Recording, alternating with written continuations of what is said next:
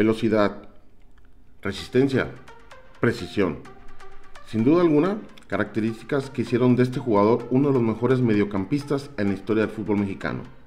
Hablemos del Cabrito Arellano.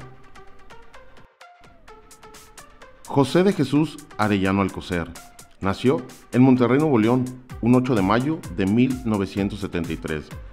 El Cabrito empezó a jugar desde los 5 años de edad.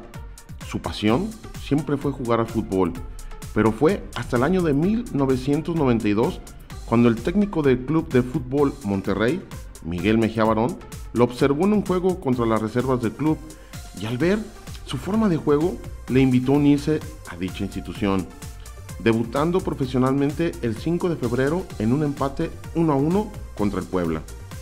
Jugador emblemático de los Rayados del Monterrey, donde estuvo la mayor parte de su exitosa carrera, con excepción de las temporadas 1998 a 1999 y 1999 al 2000, donde jugó con las Chivas Rayadas del Guadalajara.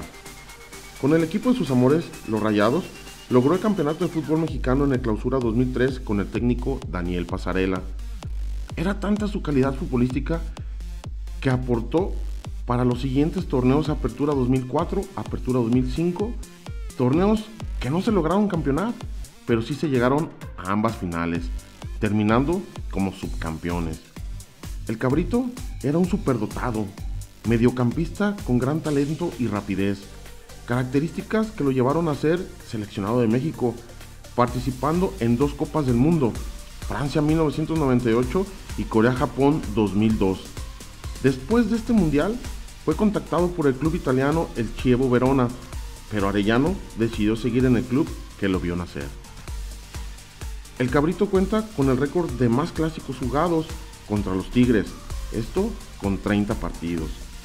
Junto con Luis Pérez, son los únicos campeones en la historia del club con los títulos 2003, 2009, 2010 y el campeonato de la CONCACAF de la Liga de Campeones del 2010-2011. El Cabrito jugó 15 años al fútbol y puso fin a su exitosa carrera el 12 de mayo del 2011. Actualmente, desgraciadamente el Cabrito sufre de una acusación legal y se dice que cuenta con una orden de aprehensión. También se comenta que se encuentra amparado ante tal situación. ¿Tú lo recuerdas? Este fue el cabrito arellano. Es momento que dejes en la caja de comentarios tu opinión. También es tiempo de que te suscribas y compartas. Regálame un like, lo cual me ayuda bastante.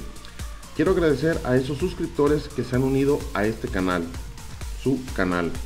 Estoy seguro que pronto llegaremos a los 400 suscriptores. Mi nombre es Juan y estamos en contacto.